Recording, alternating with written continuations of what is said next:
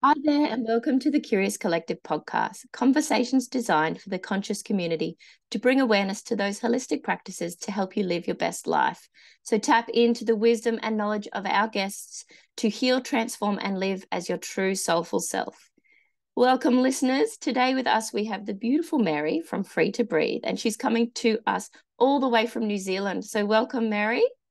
Thanks for having me uh, we would love to hear about you, what it is that you do, and what makes your heart sing. Hmm. What do I do? Um, I love breathwork. if you go on my Instagram page, you'll just see like breathwork, breathwork, breathwork. And I know a lot of people probably get sick of that, but I don't. Who cares? don't care. Um, so basically, I teach people how to breathe properly um, I feel like our culture has just stuffed up big time with especially shallow breathing, um, not nervous system regulation. Like there's absolutely no awareness of the body. Mm. I feel like we've all just been stuck in the mind and the do do do the go go go.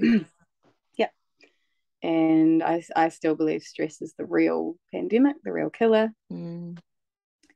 And it's my mission to help people relax and come home to their true selves basically yeah and your and your greatest tool i'm sure you've got many but the greatest tool and the one you use the most is is connection to breath yes so just slowing the breath down slowing the exhale down mostly mm-hmm. um, just knowing that the the best phrase i could say is your exhale is more important mm. so when we exhale we exhale 90% of our toxins oh sorry 80% of our toxins it's not just going to the bathroom, it's literally breathing out. And the longer you exhale, the more you're detoxifying your cells and your body. And you can start to heal your cells the way they should originally be in that mm. nice healed state. Because it's not the medicine that heals us, it's the cells that heal us. So the medicine kind of gives a push sometimes. Mm. The cells, did you say? Our cells, yeah, yeah. our cells are there always regenerating, always turning over. And if they're going to tell the next cell that same story, you'll just stay in that state. But if mm. you change it up and if you can consciously breathe, imagining those cells healing, they'll heal and they'll tell a new story. And you can literally become a new person within two years. Oh, I actually love how you've just described that because I've never heard that. Where mm. I've just pictured in my mind these little cells all sitting together having a little mm. party, mm. and they're all yeah. just telling each other these toxic lies. But then yeah. I flip the perspective on that, and I'm like, there's all these cells together, and they're just dancing in a field, and they're vibrant, and yeah. they're happy, and they're you know free. And yeah, what a great analogy to think of when you're thinking and dropping into the body because these bodies we've got mm-hmm. are pretty darn amazing. Yeah. We're a lot more powerful than we know. And that's why sound healing is really good too. And it's in a universal language, isn't it? Mm. Sound, it brings us all together, but it also brings ourselves together and can vibrate at a higher frequency. Um, like with the sound bowls, they they lift that vibration and frequency. And Albert Einstein said we were all vibration. We've all everything's vibrating. The earth the trees we are and if we're vibrating at a low state which is mm, guilt and shame and apathy is at the lowest if we're up in love it's up in a higher frequency. So we can Joy. use sound to as, as a tuning fork type of thing they'll hit each other and they'll tell each other. They'll have a party and they'll literally like oh actually let's tell it let's tell ourselves these good stories and mm. like pass that on instead of this this like guilt and shame and yeah. And yeah. I know our bodies as well. Like in a breath session that i was in with you the other day my mm. uh, on the exhale um our facilitator encouraged us to let out sound. And i let out this like really like mm. like crazy sound that I'm like, oh wow. And it just resonated through my whole body. And mm. what you've just said mm. there is that sound healing, yes, but you can actually be your own sort of sound healer yeah. in a way. Absolutely. And have yeah, you had those and, sounds and, come out when you've done a practice as well? Yeah, sometimes I get different Middle Eastern sounds coming out of me, you know, like the tones. Yeah. Um, but in Soma, so I've done a Soma course. Have you heard of Soma breath? no, tell everyone about it because that would. So Soma breath is um, it's Niraj. He does this. He's he's an ex pharmacist, so he's studied the science, and he's got a lot of um, science solidified in his te- in his teaching. So he's gone to NASA. He's got mm-hmm. the brainwave frequency um, all done, and he went to a neurologist. And in Soma, we do breath, rhythmic breathing, and then breath holds. Mm-hmm. And just two rounds of those, the neurologist found that you do quiet the ego mind, the default mode, which is Mary does this, I'm this type of person, I eat these things. Like that can quiet so you can start to go into your frontal lobes and into your reptilian brain and start to break down those conditioning patternings that you had and once those defenses are gone so it's more of a relaxing technique yeah um the holotropic which is what we do is awesome for like getting there really quick but this is more of a relaxing feminine flow mm-hmm. um so doing those, but also we learn how to hum. So you can hum for five minutes and you'll hum from the lower at the lower chakra, which is mm-hmm. your root, which is ah, uh, and then you go to ooh, and then you go to mm, and it what it does is shifts your vibration from the bottom up and clears out that energy center. Yeah, wow. And different tones vibrate different areas. So yeah um, that's a very pranayama. Um, they've been doing the shaman's been doing that for centuries, but mm. also in Hebrew they would do shalom, which is the same tone. And yeah. when I started to research this, because I've done a Jewish mysticism course as well, I was just like, oh my gosh, they all knew. Like yeah. everyone just knew. If you use sound to vibrate, then you can clear things. Yeah. And I just got this beautiful warm rush up my whole back. It's like, wow. And I and I guess if you were to do like a study of all the different cultures and religions and all of them, there would mm. be something within all of them that that is a resonance or that's similar that's that's working to activate those energy centers without calling it that. Yeah. Mm, yeah. Fascinating. Absolutely. And one cool thing that I also found out was shalom means peace, but in Hebrew it's like wholeness and wellness and um, everything. It means everything. So mm. yeah. And and yoga is like the yoke, like yoking us all together. There's so yeah. many beautiful ways that the that the language has been used mm. To to bring us all back to that one message that that there is just one, a oneness, a togetherness, a cohesiveness, a resonance. Yeah, absolutely. Yeah. And also breath breath means spirit in Latin I love that. So I didn't know that. Yeah, you're literally breathing spirit in. Like mm. it's your life force, it's your safety, it's your um nurturer. Mm. So oh, what like got you into breath work? What made you love it and dive into it and learn all the things? So I'd gone to a counselor like eight years ago and she was like, right, get up in the bed and breathe. And I didn't know this, but she was like, she'd been doing breath work, rebirth since 1987. Like, yeah, her wow. smile lines went up. Yeah, like all of her lines went up, and I was like, I want to do what you do when I'm older. And I thought I was going to do it when I was 60, but then lockdown happened, and at that time I'd had two kids under three. I had three businesses because I was a crazy workaholic psychopath. Self admitted. yeah, I was. Um, and I had a business partner too, which was pretty toxic. And it was just a lot. So I was laying on my bed, twitching from stress. Mm. I was getting migraines all the time. Um, and I was something was like breathwork, breathwork, Mary. You know what it's like. You know what it, yeah. And I hadn't done it for so long. And I was like, I'm gonna do it. I'm just gonna bail from mm. everything. And I sold all my businesses. I had I was doing makeup for 16 years. So I was in the makeup wow. world yeah the only thing i liked about makeup was connecting with the people yeah and after lockdown i kept i finished all my jobs up and i noticed at that time i was just talking to everyone about breathwork and i'd even go into my business partner's house and do shoots with her and just talk about breathwork to everyone and she'd always roll her eyes But you were like, no one's stopping me from talking about this.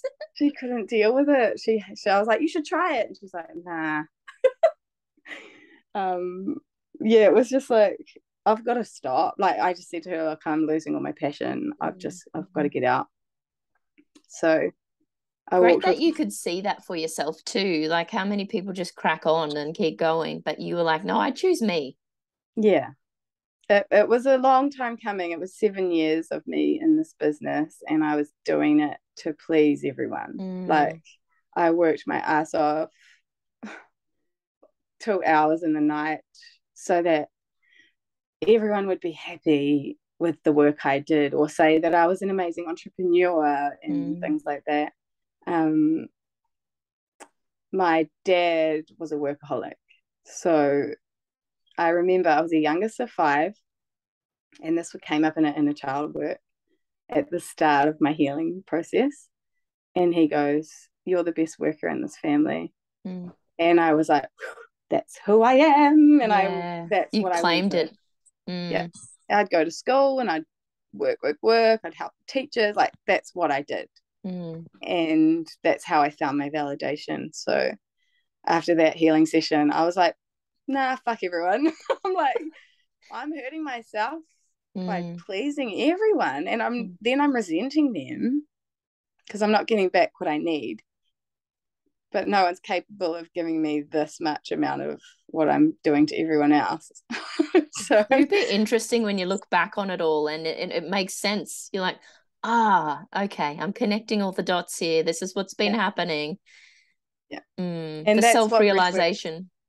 That's what breathwork has done for me. Like, yeah, I'm the so great thankful. unraveling, I call it. The yeah. great unraveling. Yeah. And I even get clients coming now, and I sometimes do um, lots of work teams, mm-hmm. and the boss will come in and and I'll talk about how my story just then, and she's like, she's like confused and she's like, Don't why don't you want to work hard? And I was like, well, who are you doing it for? Mm. And she's like, I don't know.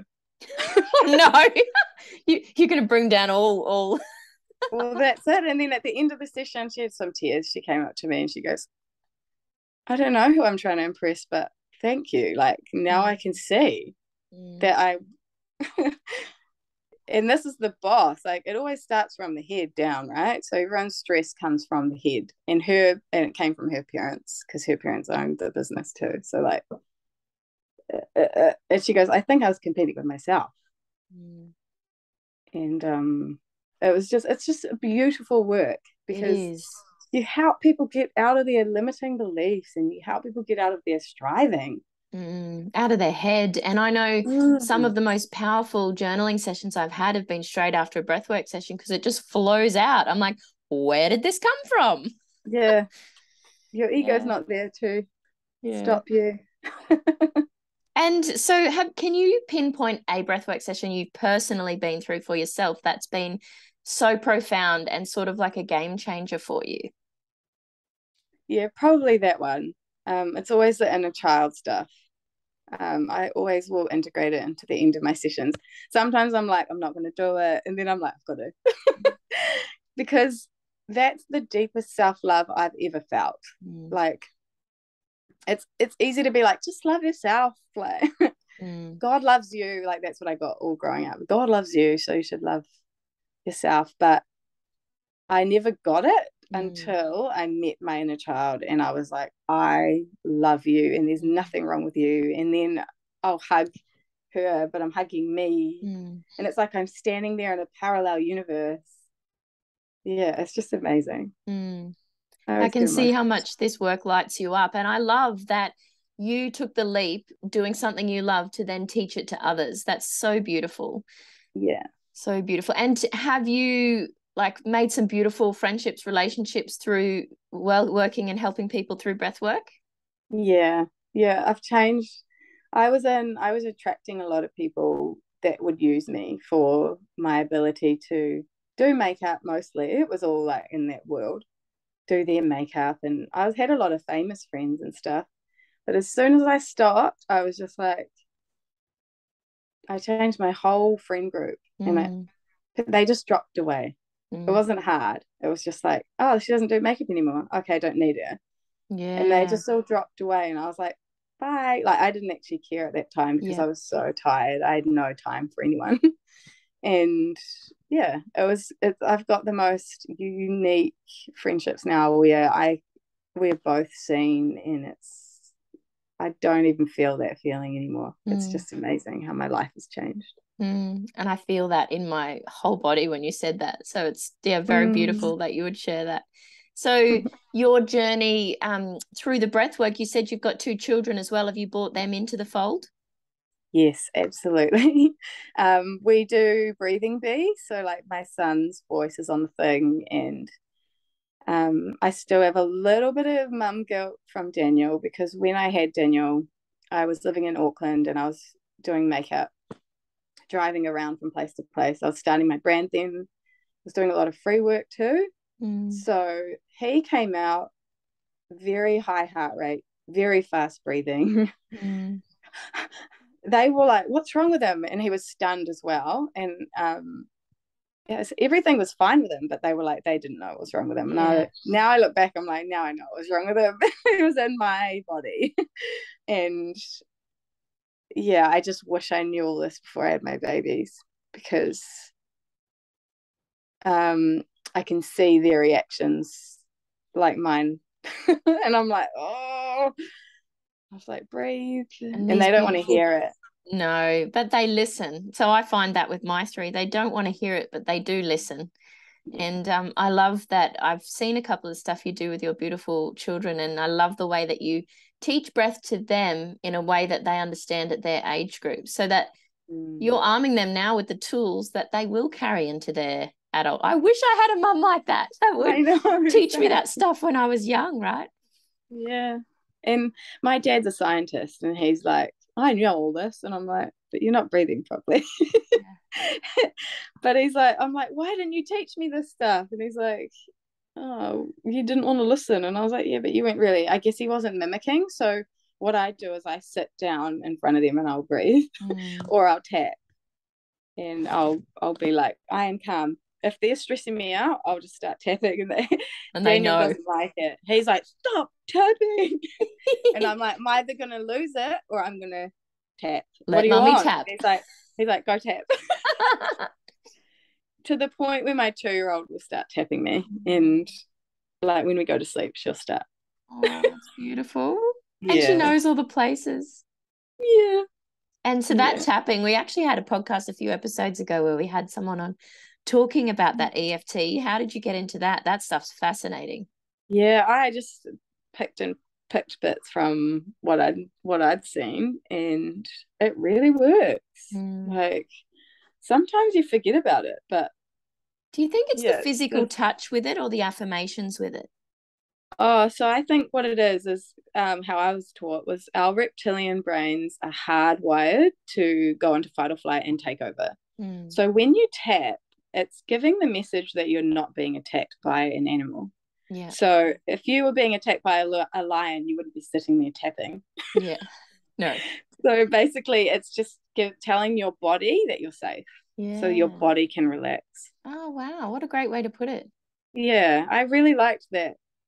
Um, that teaching. So yeah, just and that's why in breathwork it's really good to do with people with their their stress because because yeah. you're telling the story there.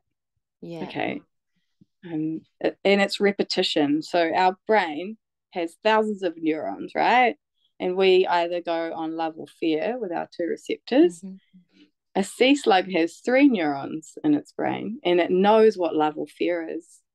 So we don't need to know everything. Mm. We just need to know what love or fear is. And so that's why breath works good is because it's it's um you know what's happening next you know you're going to inhale and you're going to exhale. You know you're going to inhale and exhale, and your brain can actually just relax, and then you That's can shut all you've got to those. concentrate on. Yeah, same with tapping. Mm. You know it's going to come. And so, with your breath work that you do for yourself and your clients, do you do nasal or mouth? How does that work for you? For me, I like nasal because I had adrenal fatigue for like 10 years. And the mouth will overstimulate me Mm-hmm. But I know people that can't drop in just with the nose. And do you study the Ayurvedic? Um, have you studied the Ayurvedic types? Yeah. There's like the like, Vata and the yeah Vata, Pitta, and Kef Kapha. Yeah. So the Kapha usually they're the they're the people that need the stimulation because yeah. they need to be they need the adrenaline. Whereas I was running on adrenaline for so long that I just need to not. Yeah. I just need to like get out of have a break. Yeah. I feel like the Western world does need a lot of relaxation mm. techniques because of how we've been conditionally raised. And I, I, this is an interesting fact that we can talk about. Do you find now the more attuned you come to yourself and the more you do breath work that you can be out at the shops and you can actually sense who's stressed, who isn't, what's going on for people just by looking at them? Yeah, absolutely. Like, oh, and I just want to hug people. I'm like, it's okay. I know. I You'll be okay. Behind come and breathe was, with me. Yeah, just come and breathe. And they're like, I was walking down the mount, uh, mountain and this lady was open mouth breathing walking up. Because if you nose breathe when you exercise, you don't get fatigued as mm. much. Like you really can, and you get more power from your diaphragm, which holds your whole posture up. So this lady was walking up, mouth breathing, dying. and I go, Oh, I've been studying about because I was like on fire at that time. I was like, I've been studying about this. If you, if you close your mouth and really like harness that power, you can get up the mountain easy. And she's like, I've been walking this mountain for years. and I was like, okay. Right, you, just, you stay in your body. That's fine. You know what though? She'll next time she's going up that mountain and she's dying, she'll hear you and she'll go, I'll try this nose thing. oh, yeah, I hope she did. I hope she did that. You just planted a seed and walked off. Yeah. Drop. I think just keep spreading your breathy goodness everywhere because that's you planting seeds all over the world. And if you're excited about something, you should talk about it. Thanks. Don't hold back. Don't hold back. Yeah. So if any of the listeners are interested in trying breath work or they're new to it or they're just not sure, what advice would you have for them? I think start with something gentle. Um, the best thing for me was because I had to go down the science science route first because I, as you know, my background with going to church and religious things and stuff, I didn't want to jump into another thing that was like spiritual at that time. Mm. I just needed to learn this, that like the science of the breath. And once I learned all that, I was like, man, there's some deep stuff in here. Like it's actually proving all the things that I needed, which was like healing in my cells and my trauma and all the tension was all linked to spiritual stuff. Mm. So I healed through that way. But James Nestor wrote a book called Breath and uh, Science of a Lost Art. And I started taping my mouth that night.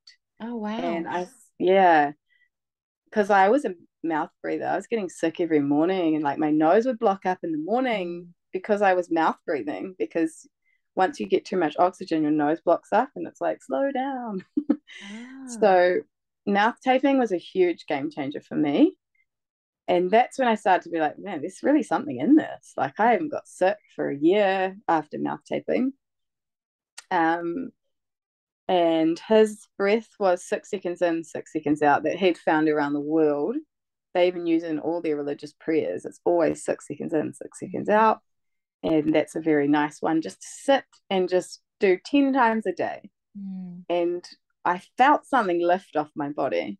Like the heaviness was gone because I started to do it and I started to be like, I can do it properly. Um, and I was breathing into my belly and not using my shoulders to breathe. And just looking into animals and how they breathe. Like they no, none of the animals mouth breathe. Mm. And they also breathe slower and live longer. So, like an elephant breathes four breaths a minute and will live to 120. Oh, four breaths a minute. Yeah. Whereas, like a rat breathes 120 breaths a minute and dies within two years. So, mm. like, if you look at animals and the way they breathe and how long they live, it's always the slowest breathing animal lives longer. And it's the mm. same with us. Like, we can slow down and you'll live longer. Yeah. Like collectively as well. What a great um, way to describe that using the animals. That I've never mm. heard that. That's so good. And um, I was once in a yoga class with my beautiful friend Ainsley, and she said, if when you were brought into this earth, you were given a prescription of how many breaths you were allowed to take for your whole life, you mm. would be mm. mindful of slowing down and really concentrating and connecting to breath more often. So I'm like, hmm, pondering that. yeah, animals are our biggest, are a big teacher because they've got all the reptilian stuff ingrained in them, but they also don't have the social shit where we, well, mm, they won't really do that because they just be themselves. Yeah, and and it was really interesting in a in a training we're doing together when we watched that video about, you know, the deer that got hit yes. by the um, lion or whatever it was, and it and it went down on the ground and it was frightened and it had so much adrenaline running through it, but then it shook itself out, got up and just carried on with life as normal. How yeah. many humans do that? None. Zero zilch zip. Unless like, if, if I started going like this, you think I was nuts. shaking like a just amazing just discharging mm-hmm. that energy from the from the rush of adrenaline yeah. to just carry on with life as normal like nothing had ever happened yeah animals getting yeah getting into nature so even i'll just sit with my I have two pigs I'll just sit with them. They lay down and I can pet them, and they breathe into their belly, and the cats breathe into their belly, and the birds breathe in every animal breathes into their belly. Mm. Like a um, dog when they're sleeping, you see their big tummy like yeah. Yeah. Yeah. So just sit there and breathe with them. And watch just, them and yeah. Yeah, and it's connection too. So animals and slowing down the breath and was the other one? Oh, mouth taping. Mouth taping. Yeah. So do you just use any tape or is there like special mouth tape that you can buy? So there's I use microporous tape. It's like the surgical white tape oh, you yes. use with bandages. And I just put a strip in the middle of my lips, long ways. Yep. And I can still talk if I have to. My husband would think not... that was hilarious. He'd be like, oh, good, she's not talking.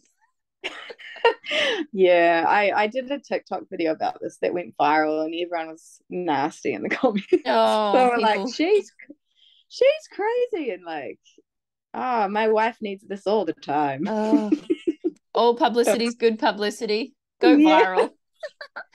uh, you have dropped so many golden nuggets of wisdom on our call today. Thank you so much, Mary, for your time. Is there anything else you'd like to share with the listeners before we say goodbye? Um, relationship with your breath um, is a big important one too. I forgot that, but a relationship with your breath you take your first breath when you're born mm. and you take your mm. last breath when you die and in between that your breath's there with you all the time through everything you've gone through and um even through all the sad times and stuff your breath's always there so just connect mm. with it and have a good relationship like it's your friend and it's literally called spirit like it's always yes. there oh i'm and, getting full body goosebumps yeah i know it's so powerful because no one can take that away from you. Mm. That is super powerful. Thank you. Listeners, rewind that last bit and listen to it because that was awesome. Thank you so much, Mary, for your time. And listeners, down in the comments will be all the links um, to Mary and everything she's about. And we might even drop in the name of that book that you mentioned, the Nestor book. That would be really cool as well. Yeah, I will do that. He's Bye. got a lot of podcasts too. So oh, awesome. James Nestor. James Nestor. All right. Thank you so cool. much.